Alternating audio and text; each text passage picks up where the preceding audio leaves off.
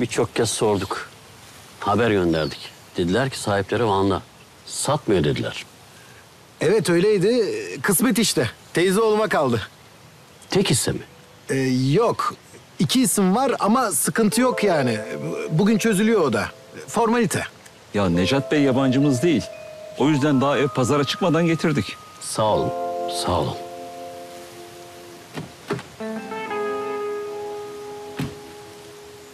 Delikanlı. Al sen bunu. Abi şimdi kapora için erken değil mi? Bu işler çözüldükten sonra biz... Al sen. Satıyoruz dediğinizde öncelik bende. Tamam? Ya olmadı şimdi aramızda bir mukavele imzalasak kapora mabında. Necat Bey'in dediği gibi satıyoruz dediğinde müşteri burada hazır. Yani gün içerisinde haber gelir değil mi Atakan?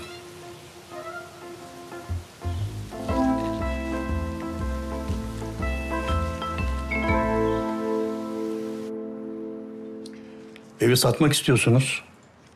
Ev oturulacak gibi değil. Tamirat icap eder. O da büyük masraf. Beklersiniz oğlum.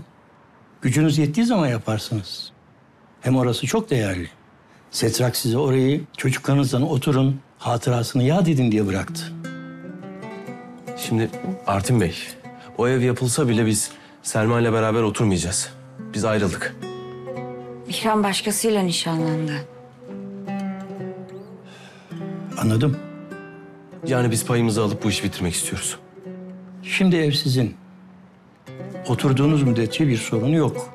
Evet. Ama satmaya kalkarsanız Setrak'ın bir mirasçısı daha var. Kim? Kız kardeş. E, ev sizin dediniz. Evet öyle dedim. Ama Mari'nin aile olmaktan kaynaklı mahfuz bir hissesi var. Eğer evi satmak isterseniz itiraz edebilir. Yani Yani ilk önce ondan müsaade almanız gerekir.